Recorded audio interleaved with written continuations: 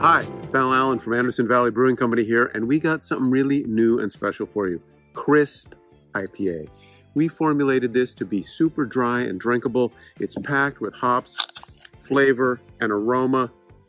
Nice light color, West Coast IPA style. Awesome. I think you're going to like it. Look for it in their stores.